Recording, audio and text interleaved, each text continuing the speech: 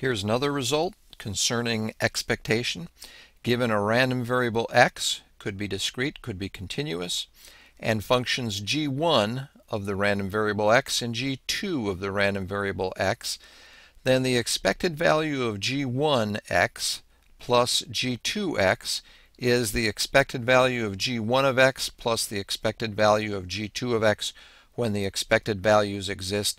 This is another example of why expected value is known as a linear operator.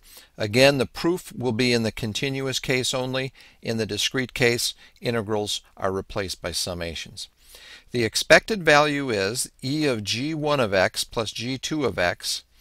Whatever is in the brackets here winds up going right here in front of the probability density function of x. So since it's continuous, we integrate, and since the support is not pinned down, we go all the way from negative infinity to infinity. That will cover everything. Notice that these two integrals here can be broken out into g1 f of x dx and g2 f of x dx. This first integral is the expected value of g1 of x. The second integral is the expected value of g2 of x.